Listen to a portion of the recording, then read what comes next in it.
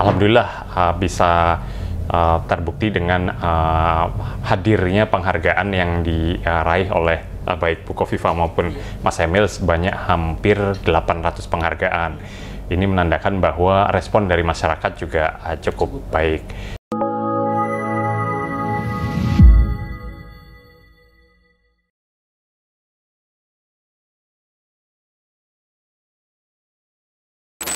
Bismillahirrahmanirrahim. Sampai jumpa kembali kawan PWMU TV.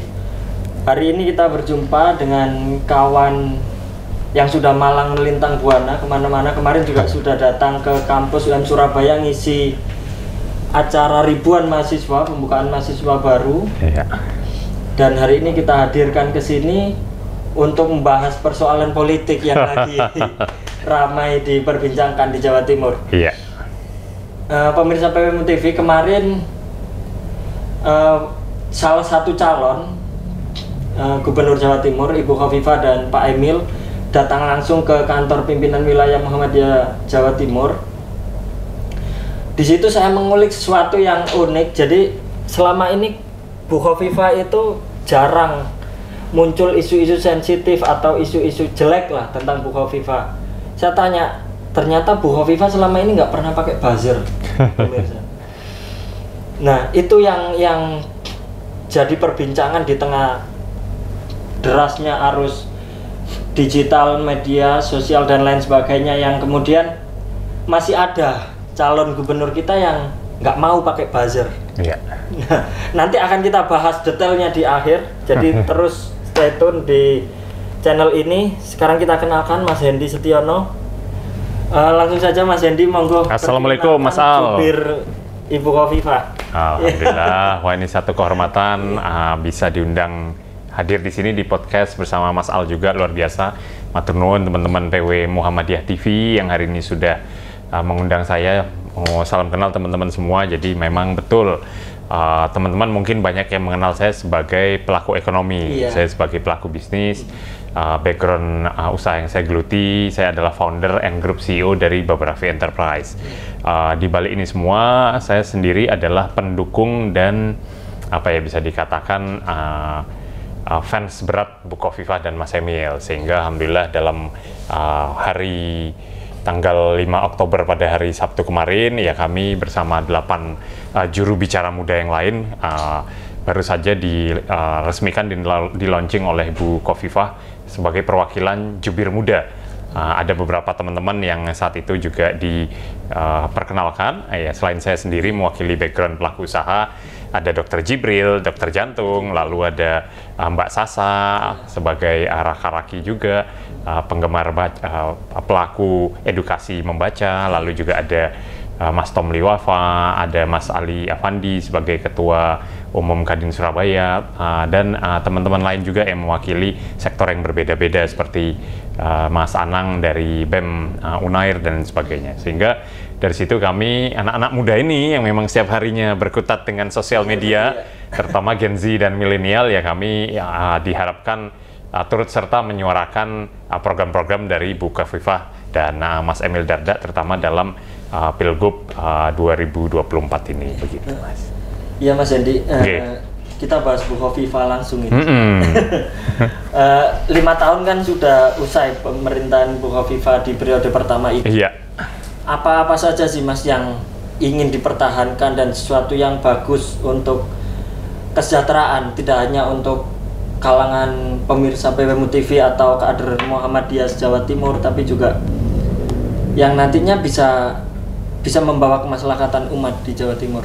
Iya, artinya kalau mengutip apa yang uh, sebelumnya sudah dila- dijalani oleh uh, Bu Kofifah dan Mas Emil dalam periode 2020 sampai 2024 kemarin, uh, alhamdulillah uh, bisa uh, terbukti dengan uh, hadirnya penghargaan yang diraih oleh uh, baik Bu Kofifah maupun Mas Emil sebanyak hampir 800 penghargaan ini menandakan bahwa respon dari masyarakat juga uh, cukup baik.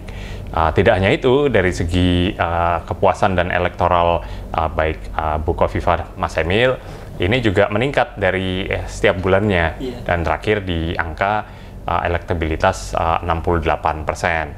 Nah, tentu kami juga bersyukur, tapi di sisi lain tidak boleh lengah, tetap harus bersemangat gitu kan. Sehingga kalau uh, menjawab pertanyaan tadi, uh, memang ini sesuai dengan background yang saya geluti yaitu di bidang uh, ekonomi, pelaku ekonomi. Sehingga kalau mengutip apa yang dijalankan, uh, salah satunya adalah misi dari uh, Gubernur dan Wakil Gubernur Jawa Timur, Nawa Bakti Satya. Ini ada ada sembilan program, Iya. dua di antaranya adalah Jatim Sejahtera dan Jatim Kerja. Jatim Sehingga kalau berbicara kesejahteraan, uh, bagaimana uh, Bu Kofifa dalam periode 2020 sampai 2024 kemarin berhasil menurunkan tingkat kemiskinan. Jadi yang sebelumnya ini ada datanya, jadi by angka. Uh, yang sebelumnya kemiskinan tersebut di angka 4,37 persen. Uh, di akhir periode beliau di tahun 2024 turun drastis di 0,66 persen, sehingga terjadi penurunan signifikan di angka 3,74 persen. Sehing- Dan itu sekitar 1,5 juta jiwa, jumlah yang cukup besar. Sehingga ya kita sendiri sebagai pelaku ekonomi uh, tentu merasa bangga gitu kan, berarti terserap lapangan kerja, uh, daya beli kembali uh, pulih, kembali uh, baik gitu kan, sehingga uh, konsumsi dari segi ekonomi juga berputar. Nah, pelaku ekonomi tentu merasa uh, happy dengan adanya uh, daya beli masyarakat yang meningkat. Di samping itu serapan daya kerja juga Iya. uh, sesuai dengan uh, program yang kedua yaitu Jatim Kerja. Nah, bagaimana uh, teman-teman pelaku ekonomi ini uh, mereka tidak hanya uh, menciptakan lapangan kerja tapi justru uh, adanya entrepreneur-entrepreneur baru yang lahir dan justru bisa tercipta dengan adanya program ini. Salah satunya ada uh, Millennial Job Center. Bagaimana teman-teman yang berdikari secara mandiri. Jadi misalnya teman-teman desainer, videographer, host, MC yang miliki skill talent itu di Millennial Job Center uh, bisa juga kemudian menuangkan gagasannya dan idenya untuk uh, berkolaborasi dan uh, belajar langsung dari mentor-mentor dan mencari klien dan menemukan klien di situ. Sehingga antara talent tersebut ditambah dengan mentor Terhubung semua. betul uh, uh, dengan uh, calon uh, kliennya ini kemudian bisa menjadi satu solusi bersama uh, dan ini dibayar gitu kan sehingga dia dapat uh, kemandirian secara ekonomi juga. Terkait itu Mas Gitu, tadi Mas. peningkatan perekonomian. Iya. Ini kan masa PJ kan, berarti sekarang kan Iya. PJ gubernur. Nah, sekitar lima, lima bulan terakhir ini Mm-mm. ternyata daya beli masyarakat kita menurun, Iya. termasuk di Jawa Ya. Timur juga. Iya. Nah, ini saya tanya personal juga. Mas Hendy sebagai pelaku usaha merasakan dampaknya juga. Pasti, ya artinya ini memang tahun politik ya 2024 ya semua pada hold, semua pada wait and see. Siapa sih presidennya gitu? Dan Iya. sudah definitif presiden terpilih adalah Pak Prabowo dan uh, Mas Gibran sebagai uh, wa- uh, wakilnya. Nah, kemudian juga ada momen pilkada gitu kan, Iya. orang menanti-nanti siapa nanti wali kotanya, Mm-mm. siapa nanti gubernurnya, wakil gubernurnya siapa? Sehingga uh, banyak teman-teman yang awalnya mau berinvestasi yang menciptakan lapangan kerja baru pada wait and see dan ngehold gitu kan sehingga harapan kami apa yang sudah baik yang sebelumnya berjalan ini bisa dilanjutkan. Nah, ini yang kemudian menjadi program bersama. Jadi sesuai dengan apa yang disampaikan juga pada program uh, visi dari uh, Gubernur dan Wakil Gubernur Jawa Timur, Ibu Kofifa dan Mas Emil yaitu bersama Jawa Timur maju yang adil, makmur, unggul dan berkelanjutan menuju Indonesia Emas 2045. Artinya apa? Bersama di sini adalah dengan seluruh stakeholder, Iya. seluruh lapisan masyarakat, mulai dari pelaku ekonomi, pelaku usaha, sampai dengan semua yang terlibat di dalamnya. Dan melanjutkan apa yang sudah berjalan ini untuk diberikan uh, yang sudah baik menjadi lebih baik lagi dan mengawal menuju uh, generasi Indonesia Emas 2045. Jadi besok-besok generasinya Mas Al ini yang ada di sana gitu kan. Nah, sehingga artinya kalau ber- berkaca dari apa yang sudah berjalan, yang sudah baik ya harapannya ini bisa dilanjutkan. Nah, momen-momen bahwa ada transisi PJ dan sebagainya sehingga menyebabkan daya beli masyarakat mungkin saat ini sedang wait and see gitu, ngehold kan. Ini tidak boleh terlalu lama Berarti optimis nanti perbaikan. Nah, tentu saja harapan kami ya di, di pada pemilihan periode akhir November besok uh, setelah harapan kami definitif uh, kembali uh, Bu Kofifa dan Mas Emil kembali memimpin uh, Jawa Timur gitu kan ya ini bisa menciptakan kondusitivitas dan iklim usaha yang kembali membaik Iya. begitu Mas. Jadi eh, Muhammadiyah juga punya serikat usaha. Kalau Mas Hendy di Ada ya? Iya. punya serikat usaha Muhammadiyah. Oke. Sebetulnya. Mantap, mantap. Jadi baru eh, periode ini pimpinan pusat Muhammadiyah mendistribusikan mendirikan organisasi itu di tingkat wilayah, Iya. tingkat kota, Iya. kabupaten itu Iya. sudah mulai berkembang termasuk di Jawa Timur. Mm-mm. Nah, usaha-usaha ini ketika nanti eh, keterlibatan para pemuda milenial, Iya. milenial, tadi kan disebutkan juga ada agenda khusus untuk menghubungkan antara kalangan milenial dengan Uh, klien dan mentor, dan betul. mentornya Betul. seperti itu.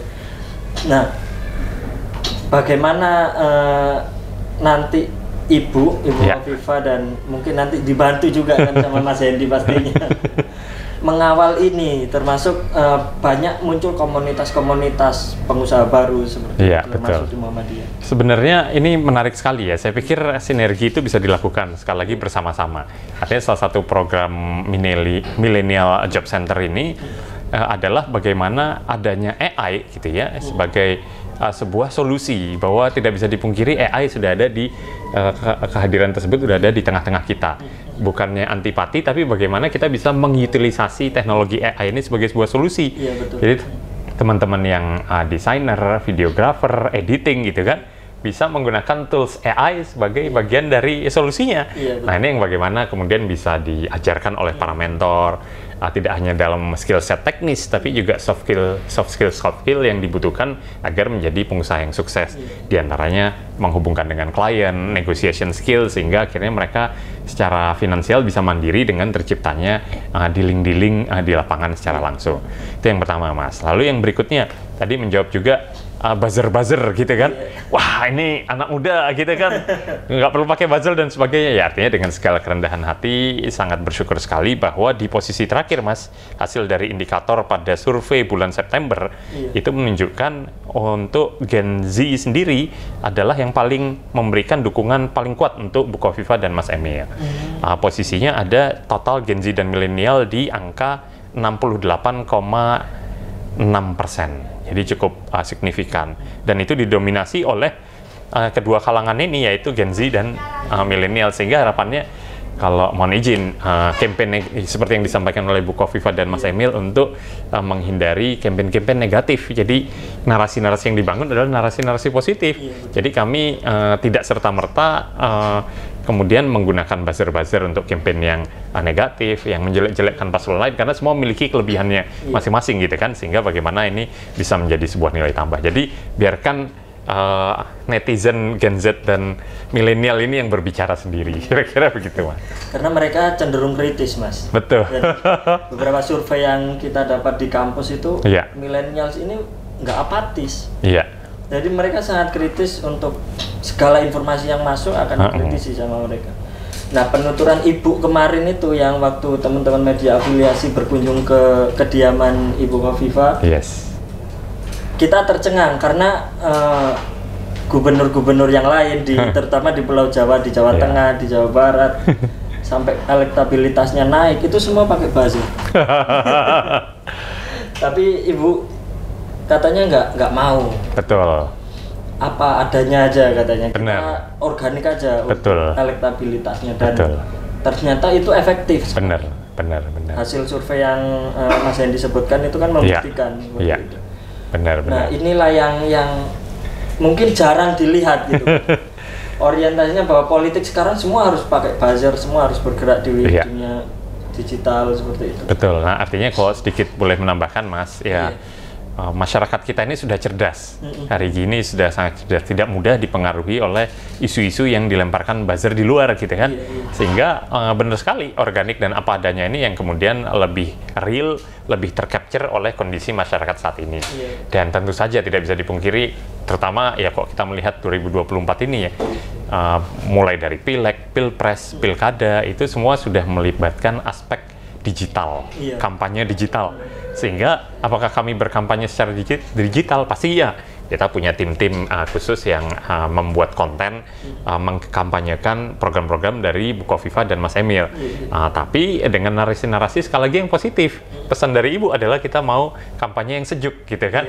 Sehingga inilah yang kemudian uh, terbawa oleh seluruh tim uh, termasuk dengan juru bicara uh, uh, muda yang kemudian kita mencoba untuk menarasikan apa sih program-program Bukoviva dan Mas Emil dan bagaimana Bukoviva dan Mas Emil bisa memperoleh hampir 800 penghargaan. Ini kan luar biasa gitu Mas. Di eh, ada titipan juga Mas pertanyaan. Oke.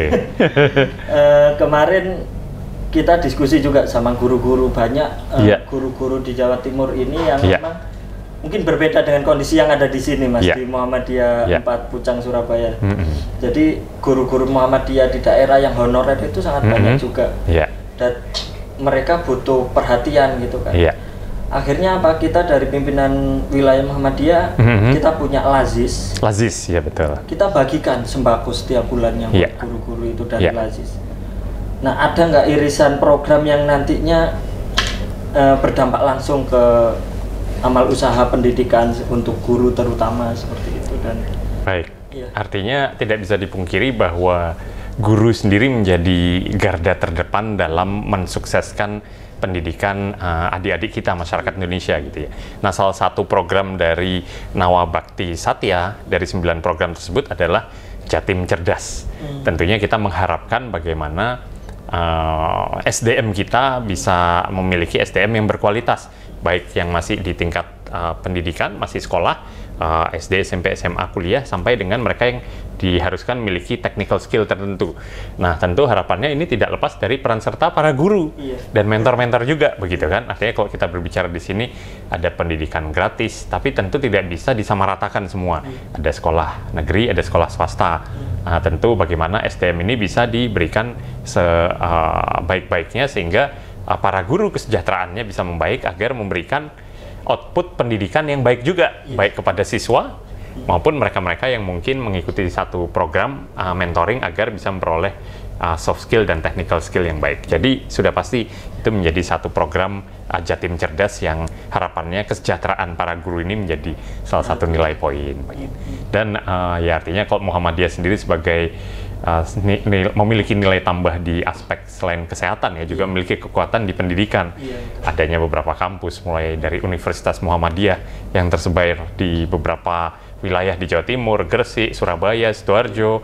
Uh, total kalau nggak salah ada 30 lebih di Jawa Timur saja gitu kan. Kampus, mm. Kampus lalu mulai dari SD, hari ini saya ada di SD Muhammadiyah. mulai dari TK. Dari TK bahkan gitu kan. TK udah kita ada TK gitu. Bustanul Atfal namanya. Wah, itu Masya itu Allah. yang ngelola ibu-ibu Aisyah. Betul betul. Jadi artinya nilai strength point ini yang menjadi nilai tambah Muhammadiyah yang harapannya ini bisa bersama-sama dikolaborasikan dengan program dari Abu Kofifa dan Mas Emil. Demikian Mas. Iya, iya.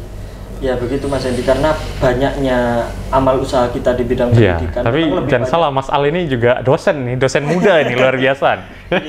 dosen muda. Eh, Belum lama saya ngajar baru satu tahun Ah. ini semester ketiganya. Mas. Iya, iya, iya. Artinya figur-figur kualitas pendidik kita sudah mumpuni ya seperti contoh Mas Al ini begitu. Iya, jadi eh, pendidikan ini yang sering kita angkat Iya. di media ini karena memang kontributor kita kan sekarang sudah nasional, Mas. Jadi Siap. website PWMU ini kontributornya dari Aceh ada, dari Sulawesi, Kalimantan, bahkan sampai Sorong. Wow, sampai Sorong ya? Ya, UM Sorong itu Iya. ngirim berita rilisnya ke kita. Luar biasa, luar biasa. Karena Berarti birunya, eh, reporternya Iya. tersebar. Wah, luar biasa. Potretnya sudah nasional, bahkan yang pimpinan cabang istimewa di Malaysia, di Mm-mm. Arab Saudi itu kirim berita juga ke kita. Begitu ya? Wow, sampai luar negeri juga mereka. Kan ada pimpinan cabang istimewa Muhammadiyah. betul, betul, Iya. betul, betul. Nah itu yang kemudian eh, kita mencoba apa ya mengangkat isu-isu yang ada di amal usaha Iya. Muhammadiyah ini Iya. dan bahkan kita apa pun artikel yang dikirim kita olah dan kita tampilkan Iya, semuanya. iya. Nah inilah yang membuktikan bahwa kekuatan digital Muhammadiyah itu sudah luar biasa sekarang dengan aktifnya para penulis-penulis ini dan kemudian kita baru bergerak di media sosial aktif satu tahun ini. Iya, terbukti adanya hadirnya podcast hari ini ya. Adanya- Digawangi oleh Mas Al ini luar biasa ini. Podcast ini juga kemudian ingin ingin merangkul semua Oke, elemen, termasuk eh, Pilgub Jawa Timur yang Iya. hari ini kita hadirkan Mas Iya. Hendy. Nah, Siap. banyak eh, kekurangan juga apa yang ada di Muhammadiyah tidak semua amal usaha itu baik seperti Iya. yang ada di kota. Mhm. Itulah yang kemudian eh, sekolah-sekolah ini butuh kolaborasi. Iya.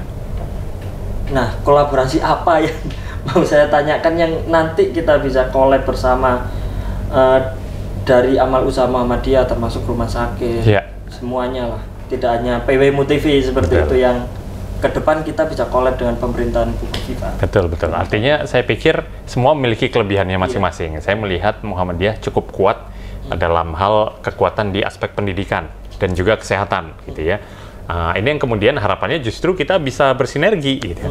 Ya, artinya kalau melihat background saya kembali lagi sebagai pelaku ekonomi ah, yang fokusnya tentu lebih banyak di aspek kesejahteraan dan penciptaan lapangan kerja. Iya. Ya tentu kita pengen bagaimana millennial job center ini bisa bersinergi dengan Muhammadiyah dalam hal uh, mentorship gitu Iya. kan banyak mentor-mentor berkualitas dari Muhammadiyah yang ini harapannya bisa sama-sama uh, turun gitu kan peran serta untuk adik-adik yang uh, freelancer atau adik-adik yang pengen menjadi entrepreneur mereka bisa dihadirkan soft skill dan juga skill-skill teknis yang kemudian ini menjadi nilai tambah Iya. Nah, bagaimana eh, hari ini contohnya gitu kan, videografernya dari mahasiswa. Ini saya luar biasa, saya kagum.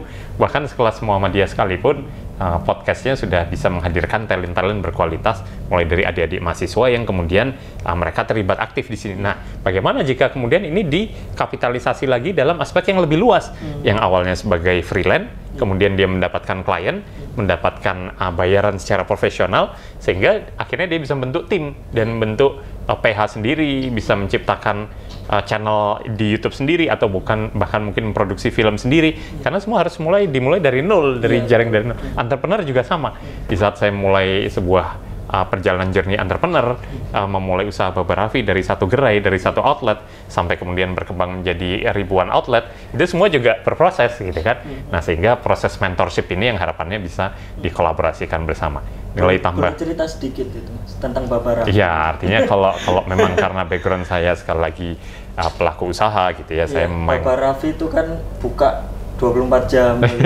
Awalnya ngerintis Betul. itu perjuangannya bagaimana? betul sekali. Kita kan cuma lihat Bapak Raffi cabangnya udah di mana-mana tapi ngerintis awalnya itu Mas Hendy Betul. cerita sedikit boleh. Betul, artinya kalau saya sedikit uh, flashback, ya memulai usaha dari nol, dari zaman kuliah masih di ITS Surabaya, umur 19 tahun, tentu segala sesuatunya serba terbatas. Saya mulai dengan satu gerai kecil berjualan kebab di pinggir jalan, uh, Tahun dua- berapa itu? 2003.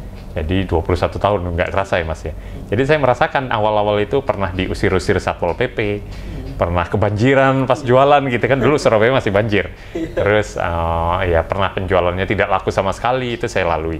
Artinya eh, bagaimana nilai tambah yang anak muda sekarang harus miliki adalah bagaimana spirit pantang menyerah. Iya. Ini entrepreneurial spirit yang harus dibangun. Bagaimana pantang menyerah, tidak mudah galau, tidak mudah baper itu sebagai semangat daya juang kita. Karena mau sukses tuh hanta- tantangannya banyak gitu kan.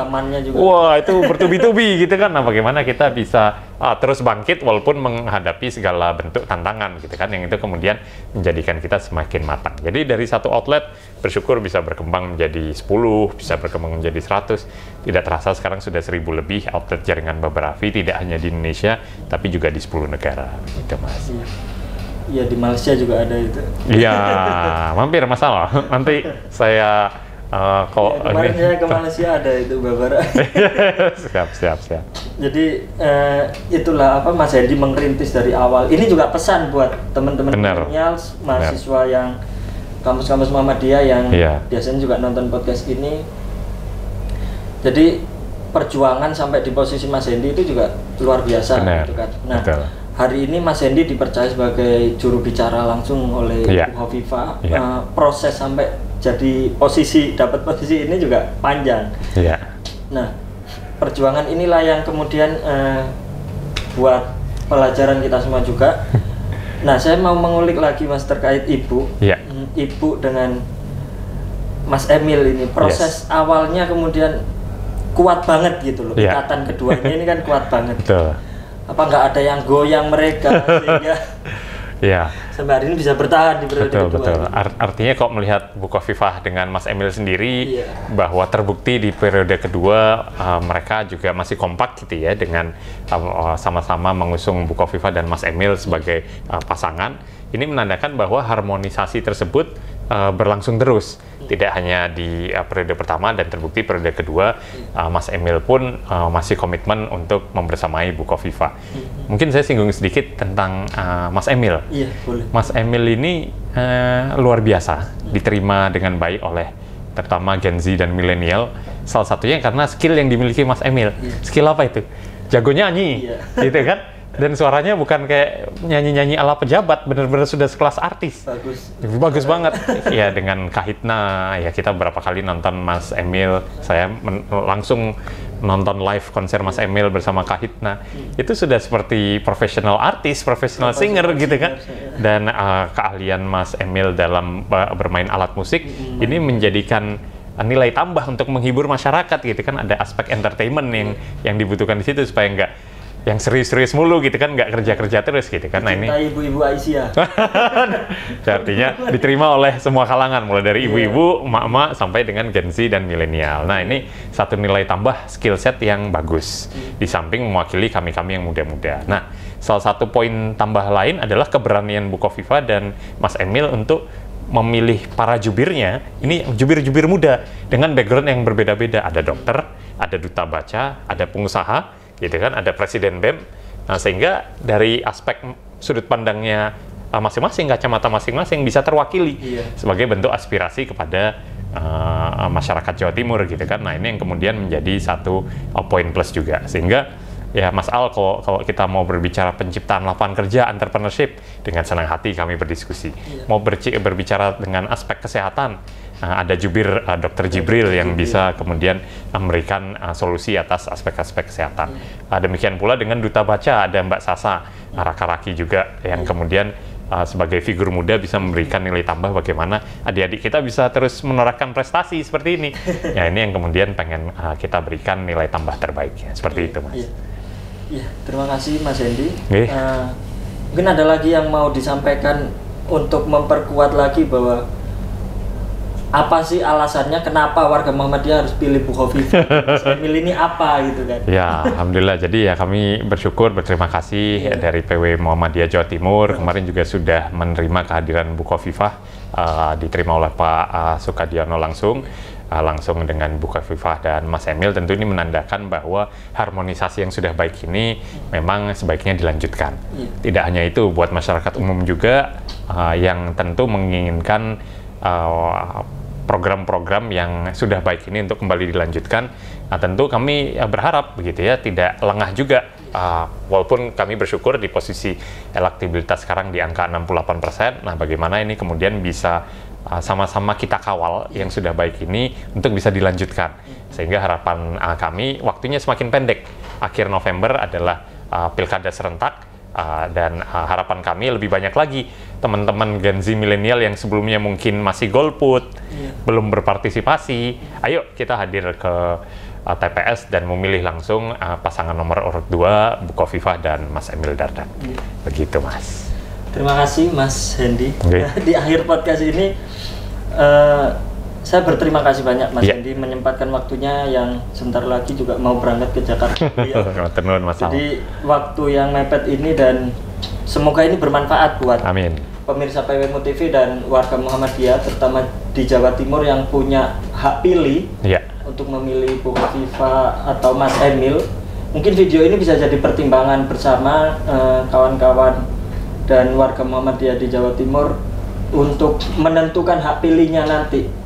Pesannya Pak Sukadiono pokok jangan sampai ada yang golput. Yes. Warga Muhammadiyah jangan sampai ada yang golput dan hari ini kita sudah dijelaskan panjang lebar oleh Mas Hendy eh, terkait Ibu Khofifah dan Mas Emil. Eh, saya akhiri podcast ini. Iya. Mas Hendy izin. Matur nuwun, Mas Iya. Al. Terima kasih banyak waktunya Mas Hendy. Eh, sekian dari saya. Bila fisabilil haq, fastabil khairat. Jangan lupa like, komen, dan subscribe subscribe channel YouTube PWMU TV dan follow Instagram dan TikTok kami.